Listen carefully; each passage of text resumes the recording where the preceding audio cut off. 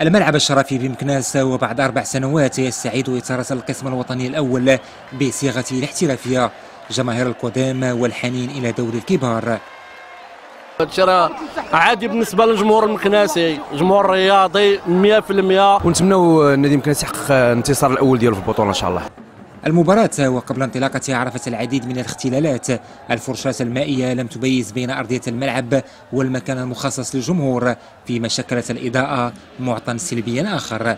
إنارة لا تناسب باش يمكن لك تلعب بالليل. هذه إنارة ضعيفة حشومة لعبوا بطولة احترافية بهذه الإنارة. أول مباراة للكوذامة بملعبه بعد غربة القسم الثاني قد يشكل ضغطا للجميع فهل يطال الضغط المدرب عبد الرحيم طالب؟ لا أنا عادي عندي. هذا 23 عام في الميادين. لا, لا ليس هناك تخوف ولا أي شيء. اللي كيبقى هو أن لازم التركيز عند اللاعبين. المباراة جاءت أولى محاولتها للاعب الوسط المريني وتسديدها مرت محاذية للمرمى. بعد ذلك وإثر ضربة خطأ سينجح المدافع نافع في توقيع الهدف الأول لصالح أولمبيك خريبكا النادي المكناسي من زاوية سيتمكن من الحصول على ضربة جزاء بعد خطأ ضد المهاجم كوكو. ضربة الجزاء الأولى لو أنه غيبقى يصفر. على بحال ديك ضربة الجزاء خصو يصفر عش... كل مباراة خصنا نصفروا 10 ديال ضربات الجزاء. لأن هذاك اللي كيقبط. واحد كيمسك الآخر واحد كيمسك الآخر. هذه كاينة في كاينة في, في العالم باسره وما كيتصفروش.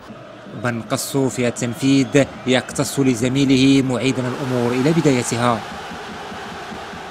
خلال الشوط الثاني عاد النادي المكناسي للهجوم من خلال مجهود فردي سريع لياسين بايود بعد أن تلاعب بالدفاع الخريبي والخليفي كان قريبا من توقيع الهدف الثاني.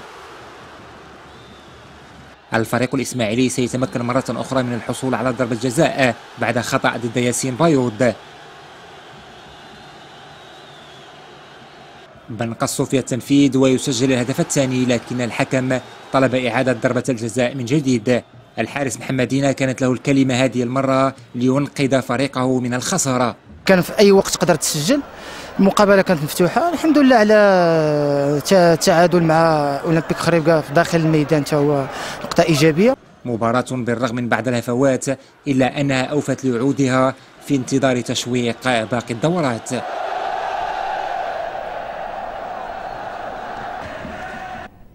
صراع المحطة الأولى من البطولة